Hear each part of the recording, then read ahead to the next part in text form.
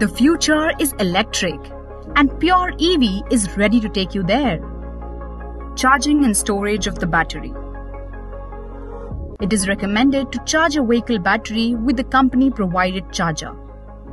Store the battery away from direct sunlight and any heat source. Ensure a well ventilated and dust free space for charging the battery.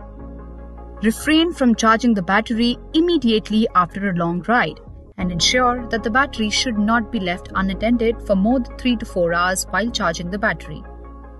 Stay safe and cost effective with Pure EV and easy driving on the road. For detailed information, kindly refer to the user manual.